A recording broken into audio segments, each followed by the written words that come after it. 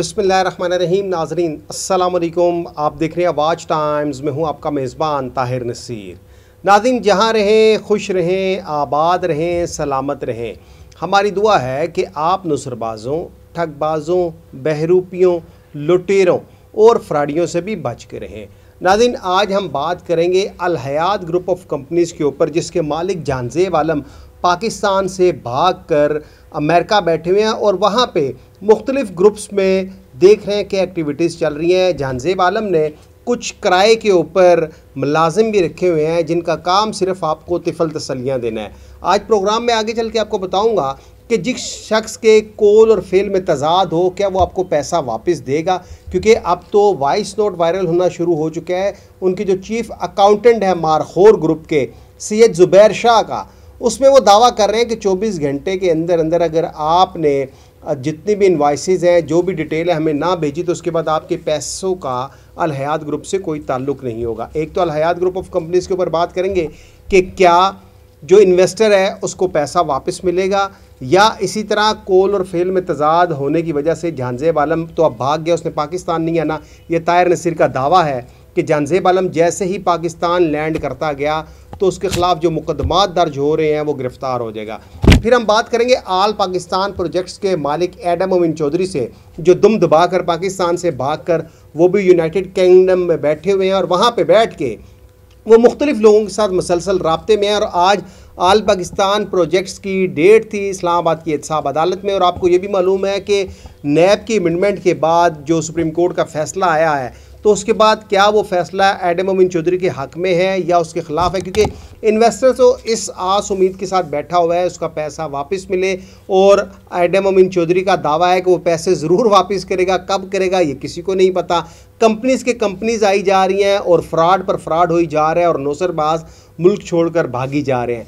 फिर हम बात करेंगे स्मार्ट ग्रुप ऑफ़ कंपनीज़ के जिसके मालिक नवीद अख्तर थे जो कहते थे कि नस्लों का कारोबार है जो कहते थे इम्पोर्ट एक्सपोर्ट जो कहते थे कि वो सर्जिकल इक्विपमेंट मुख्तलिफ़ हॉस्पिटल्स में सप्लाई करते हैं। वो कहते थे कि वो टेलीनार में किसी दौर में आ, उनके फाइनेंस डिवीज़न के हेड रहे हैं। फिर स्मार्ट ग्रुप के ऊपर हमने कहा जी नौ सरबाजों का टोला जुड़ गया और आपने नहीं यकीन किया अब वो नौ सरबाजों का टोला सत्तर करोड़ रुपये का फ्रॉड करके मुल्क से फ़रार हो चुका है। अब स्मार्ट ग्रुप के इन्वेस्टर्स भी इसी आस उम्मीद पर बैठे हुए हैं कि उनका पैसा उनको वापस मिले, लेकिन वो पैसा उनको भी वापस नहीं मिलना। फॉर यू रियल ट्रेडर्स के शेख साजिद हुसैन और उनके जो पार्टनर थे शहीर अकबर वड़ाइज उनकी असलियत भी आपको बताई। I S M art group of companies के हवाले से भी आपको बताया मैग वेंचर्स के हवाले से दो तीन और चीज़ें सामने आ चुकी हैं। मैग वेंचर्स के जो मालिक हैं, सैयद मोहसिन सुल्तान शाह और उनके जो मैनेजिंग डायरेक्टर हैं, राना फयाज़ अहमद, उनके दरमियान लड़ाई इस हद तक पहुँच चुकी है कि अब राना फयाज़ ने राहें जुदा कर ली हैं और क्योंकि पैसा जो है, वो बहुत ही ख़राब चीज़ है, पैसा दो पाइयों को जुदा कर देता है। राना फयाज और सैद मोहसिन सुल्तान शाह ने अब अपनी राहें जुदायाँ करने के लिए इकदाम करना शुरू कर दिए हैं। राना फयाज अहमद, माजी का नौसरबाज था सैद मोहसिन सुल्तान शाह, वो भी नौसरबाज था। अब इन दोनों के दरमियान, क्योंकि बीस करोड़ रुपया तो सैद मोहसिन सुल्तान शाह ने अपने मुँह से एक्सेप्ट किया था कि वो इतनी रकम इकट्ठी कर चुका है। और अब इन दोनों के दरमियान जो लड़ाई हुई है, इतला ये मौसू हो रही हैं कि जो ऑफ़िस स्टाफ है, उनको भी डेढ़ डेढ़ माह हो गए, तनख्वाहें नहीं दी जा रही और ऑफ़िस स्टाफ ने भी वहाँ के जो मुतलका थाना है, वहाँ पर दरख्वास्तें देने का अमल शुरू हो चुका है। सैद मोहसिन सुल्तान शाह और राना फयाज़ अहमद, इनकी लड़ाई की वजह से अब इन्वेस्टर्स का पैसा डूब जाएगा।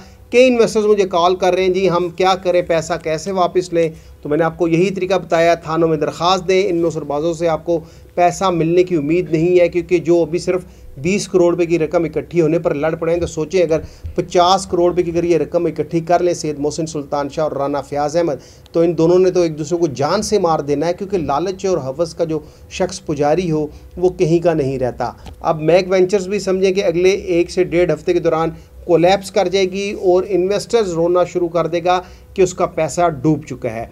हम स्मार्ट ग्रुप ऑफ़ कंपनीज़ के ऊपर भी बात करेंगे। स्मार्ट ग्रुप ऑफ़ कंपनीज़ के जो मालिक हैं नवीद अख्तर, उनके मतलब इतला ये मौसू हो चुकी है कि वो भी पाकिस्तान से भाग कर दुबई बैठ चुके हैं और यहाँ पे उनके जो करता दरता लोग हैं, वो अब आपको सिर्फ़ तिफल तसलियाँ देंगे। स्मार्ट ग्रुप ऑफ़ कंपनीज़ के जो मालिक हैं नवीद अख्तर, उनके ख़िलाफ़ दो थानों में दरख्वास्तें दी जा चुकी हैं।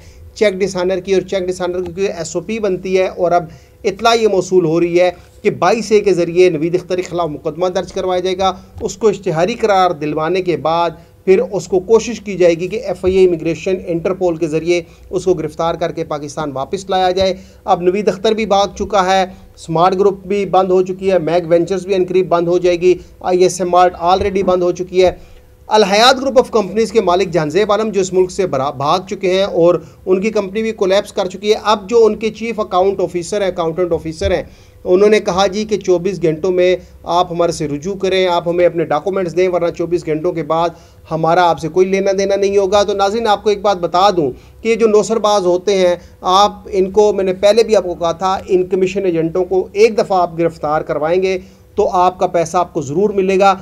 जो चीफ अकाउंटेंट हैं अलहयात ग्रुप के, उन्होंने क्या वॉइस नोट किया? ज़रा वॉइस नोट सुने। असलम टीम मारखोर मैं Zubair Shah chief accountant Al-Hayat group of companies आप लोगों से मुखातिब हूँ। ब्रदर्स मेरे पास आप लोगों के लिए एक गुड न्यूज़ है कि अलहयात ग्रुप ऑफ़ कंपनीज़ ने अपनी पेंडिंग आर स्टार्ट कर दी है। पहले मरहले में कंपनी ने जुलाई, अगस्त और सितंबर में की गई इन्वेस्टमेंट की आर को स्टार्ट किया है। उसके बाद कंपनी अप्रैल, मई और जून में जो इन्वेस्टमेंट की गई थी, उसकी आर स्टार्ट करने जा रही है और फ़र्स्ट अक्टूबर से कंपनी ने जो प्लान किया है, उसमें कंपनी जनवरी फरवरी और मार्च में जो इन्वेस्टमेंट की गई थी, उसकी आर स्टार्ट कर रही है। अल्हम्दुलिल्लाह, कंपनी अपने ट्रैक पर वापस आ गई है। लेकिन टीम आरखोर असल चीज़ जो आप लोगों से मैंने कहनी है कि आप लोगों के लीडरान की तरफ़ से कंपनी को जो आल, जो रिफ़ंड रिक्वेस्ट मौसू हुई है और वो प्रोसेस हो चुकी है। लेकिन आपको बताना ये चाहता हूँ कि आप में से बहुत से ऐसे लोग हैं कि जो डायरेक्ट कंपनी को अप्रोच कर रहे हैं, जो डायरेक्ट कंपनी के साथ किसी न किसी सूरत में सेटलमेंट कर रहे हैं। तो ये मैसेज उन लोगों के लिए है जो कि रिफ़ंड चाहते हैं। तो उनसे मैं कहना चाहता हूँ कि आप लोगों के पास 24 घंटे का टाइम है। मेरा मैसेज सुनने के बाद 24 घंटे के अंदर अंदर आप अपनी आईडीज़ अपने सी और अपने ही नंबर से आप मुझे, जिस नंबर से मैं मैसेज कर रहा हूँ, इसी नंबर पर आप व्हाट्सएप करेंगे। और चौबीस घंटे पूरे होने के बाद पच्चीसवें घंटे में आपके चेक आपको डिलीवर कर दिए जाएँगे। इसमें एक बात ये बताता चलूँ कि किसी की आईडी को किसी के बेहाफ के ऊपर इंटरटेन नहीं किया जाएगा। हर बंदा ज़ाती तौर पर अपनी आईडी अपने नंबर से मैसेज करेगा। और मैं बाकायदा तौर पर उनको कॉल करके उनसे कंफर्म भी करूँगा। अगर 24 घंटे के अंदर किसी की भी हमें आईडी नहीं आती या वो बंदा जो अपनी आईडी हमें 24 घंटे के अंदर नहीं भेजता तो उन लोगों के लिए मैं ये बता दूँ कि ब्रदर्स कंपनी और उनके लीडर।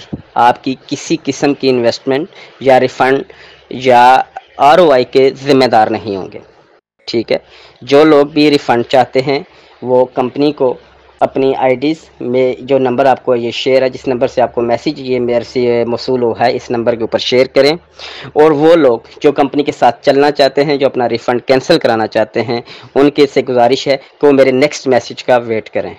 तब तक के लिए बहुत शुक्रिया। दोबारा ये कहूँगा कि 24 घंटे के अंदर अंदर अपना डाटा भेज दें। 24 घंटे के बाद किसी किस्म की किसी आईडी को कंसिडर नहीं किया जाएगा। अल्लाह हाफिज़।